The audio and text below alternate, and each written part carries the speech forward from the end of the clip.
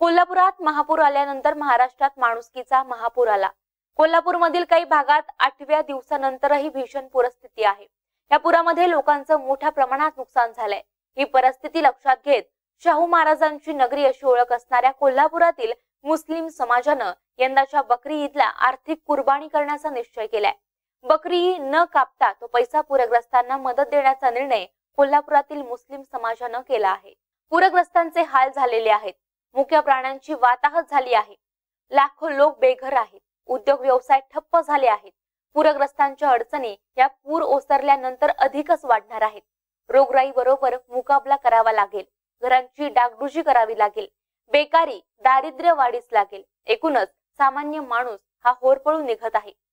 आज राजश्री शाहू महाराज यांच्या करवीर नगरीतील मुस्लिम समाजानं सर्वानुमते एक ऐतिहासिक निर्णय घेतलाय. आजच्या बकरी ईदला बकरीवर येणारा खर्च टाळून ती रक्कम पूरग्रस्तांच्या मदतीसाठी देण्याचा निर्णय त्यांनी घेतला आहे.